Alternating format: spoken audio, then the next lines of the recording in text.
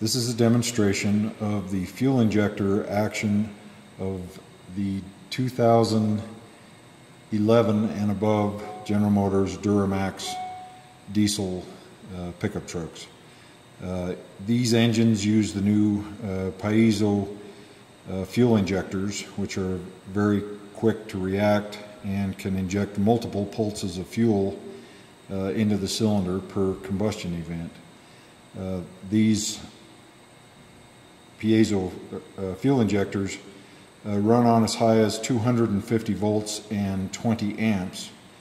And unlike the traditional fuel injectors that we've used in the past, which are electromagnetic, these are not electromagnetic. These, this piece out of the fuel injector itself has a stack of little piezo uh, wafers that uh, we're not sure how many are in there, but they're, they're stacked up on top of each other like a bunch of uh, little discs. And then we have uh, power and ground wires connected at the top here. And it's the function of this piezo crystal uh, stack to open the fuel injector nozzle and allow fuel to go into the engine. And like I said, it can be done uh, very quickly, uh, up to uh, seven or more times per combustion event can uh, fuel be finally atomized and spread into the combustion chamber, which adds more uh, power to the engine. It's cleaner burning, um, and you get better fuel economy also. So we've taken this uh, piezo uh, crystal stack out of the fuel injector body itself. And what we're going to do is clamp it uh, into a vise.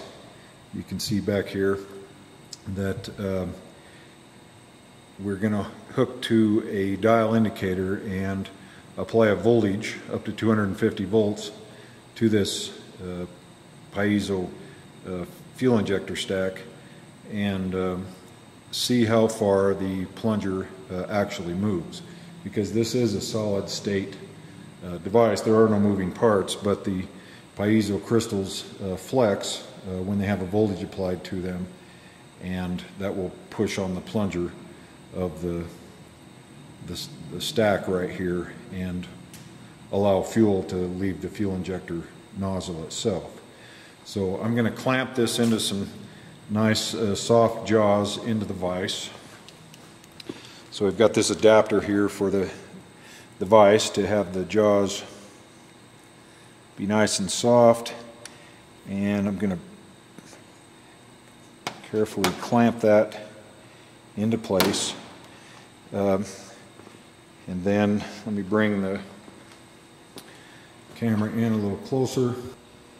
And you can see that the tip of the fuel injector uh, piezo cr uh, crystal stack is touching the bottom of this um, dial indicator. Now this dial indicator measures in the 10 thousandth of an inch movement and let me position the camera just a little bit farther over so we can get a better view of the dial indicator.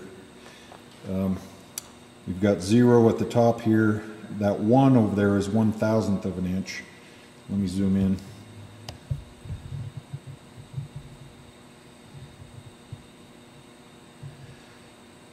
So right here is zero. The one right over here is one thousandth of an inch. Everything in between is ten thousandths of an inch. One ten thousandth of an inch. And so I'm going to try to uh, zero the the dial indicator with the fuel injector with the zero up to the top. Go, that's pretty close. Back it off just a little bit more, it's very touchy. Alright, that's close enough. We'll get zero right there. And so we are looking, once again, we're going to measure the travel of this uh, piezo, uh, spelled P-I-E, like pie, and then Z-O. Uh, it's pronounced piezo. Uh, I was taught years ago to say piezo, but it's um, apparently it's piezo. Um, and we are measuring on the top of the fuel injector uh, piezo crystal stack.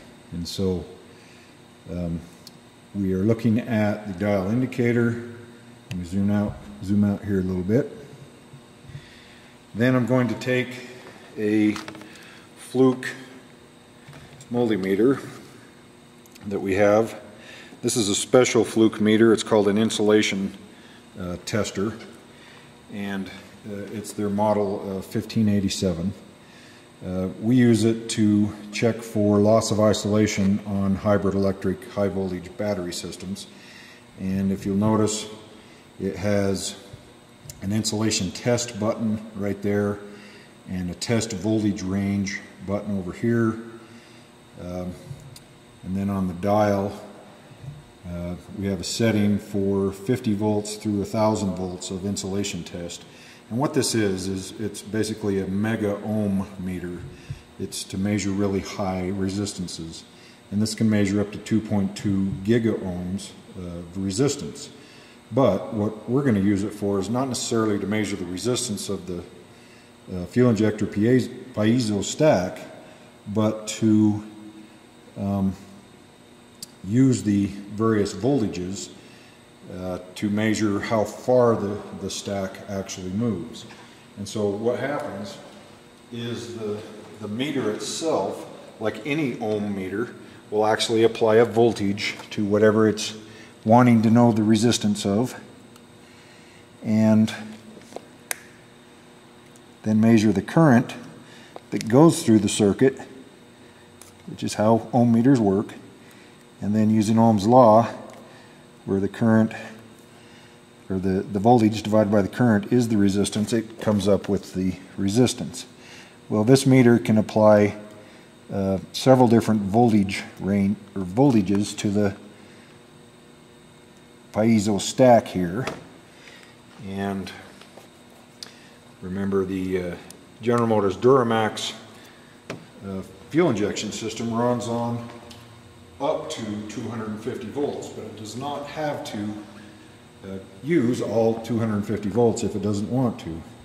So right now on the screen it reads 250 volts, but if I hit the range button, now it's showing 500, now it's showing 1000, now it's showing 50. We're going to start with 50 volts and watch the dial indicator uh, move. Let me 10 thousandths of an inch is so touchy. Uh, and to apply a voltage with this insulation tester meter, uh, there's a button on the um, meter lead itself down there on the fender cover or there's an insulation test button right here. I'm just going to push and hold this button. Notice the dial indicator moved about two ten thousandths of an inch. It shows here on the screen that we've got 55 million ohms and we've applied 56 volts DC in the bottom right hand corner. So I'll let go of that. We'll go to the next higher range, 100 volts. Uh, notice the stack did not come back to uh, zero, so I'm going to re-zero it. Okay, there we go. At 100 volts, let's try that. Now it looks like it moved about 7 ten thousandths of an inch and it's applying 108 volts and at 108 volts it has about well, it's jumping around 110 mega ohms of resistance so now we're going to take it up to the 250 volt range zero that again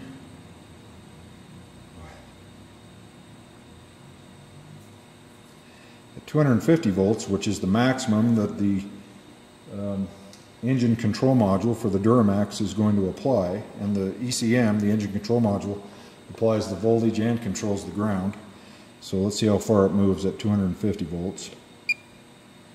Looks like we moved a two thousandths of an inch, or 20 ten thousandths uh, of an inch, and that's 265 volts, about 77 million ohms. Uh, is what we get. Notice it snaps right back to zero uh, at that point. And then just for experimentation purposes, we're going to go with even a higher voltage than what is used on the vehicle. Uh, 500 volts, let's see what it does there. Looks like we get uh, three and two ten thousandths, three thousandths of an inch, so 32 ten thousandths of an inch at 528 volts at 136 million ohms. So we'll let go of that, and we'll go to the last one, which is 1,000 volts. Let me Get this zeroed again.